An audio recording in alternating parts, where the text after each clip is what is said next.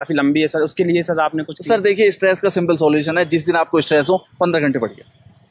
जब आप पढ़ाई करेंगे तो पढ़ाई स्ट्रेस किस बात का है? कि हमारा एग्ज़ाम सिलेक्शन होगा कि नहीं होगा? इसी बात का तो स्ट्रेस है। जब आप पढ़ेंगे तो आपको कॉन्फिडेंस आएगा। अब पढ़ेंगे कॉन्फिडेंस आएगा कॉन्फिडेंस आएगा तो आपका स्ट्रेस ही कम हो जाएगा। अब अगर आप सिर्फ़ ये सोचते रहेंगे कि नहीं होगा तो क्या होगा? तो उससे बेहतर ये है कि आप करिए उस काम को। जो काम सबसे डिफ़िकल्ट लगता है तो मीन्स के आंसर राइटिंग है सबसे डिफ़िकल्ट काम है। सबसे पहले उसे ही करिए। तो आपकी परफॉर्मेंस इंप्रूव करेगी। टेस्ट राइटिंग लेके मॉक में मॉक में आप देखेंगे कितने लड़के मुझसे ऊपर है कितने नीचे हैं तो वहाँ पे जाके आपको कॉन्फिडेंस आ जाएगा। स्ट्रेस इसी बात का है ना मतलब नहीं होगा तो क्या होगा? लेकिन आप जो कोशिश करेंगे कि होगा कैसे नहीं होगा? पैंतालीस साल ऐसे लगाइए मेहनत तो होगा ज़रूर। तो स्ट्रेस जिस दिन टेंशन हो आपको उसी दिन आप पंद्रह घंटे पढ़ लीजिए। देखिए अगले एक हफ़्ते तक टेंशन नहीं आएगी न स्ट्रेस आएगा।